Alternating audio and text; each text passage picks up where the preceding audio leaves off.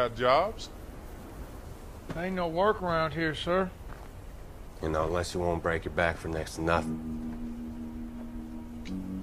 Yeah? How's that? You clearly know Kelly. Man, she ain't gonna hire me back.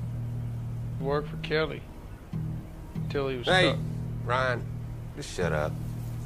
Man, how long's you known her? A few days. Ain't long enough to figure out she ain't the forgiving type. I'm guessing Kelly's not the only person you feel this way about. Other employers, friends, your dad. My point is, if you feel this way about a bunch of people in your life, it's likely you're the problem, not them.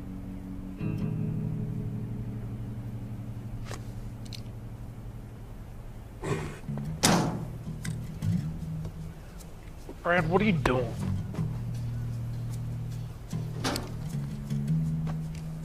And you think you know everything, but you don't know nothing. You're right. I'm just a man that don't know much. So why don't you put your faith in someone who does? Jesus? Jesus. Then I go to Kelly for forgiveness, I go to jail. Is Jesus gonna take care of my wife and kid? Is he gonna put food on the table? Hmm? You guarantee that?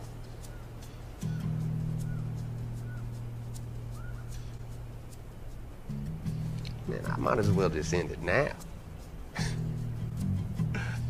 Be more useful that way.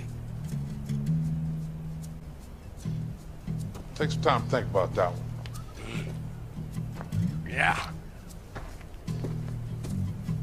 Sure would appreciate you not shooting me in the back on the way out. Uh, get on.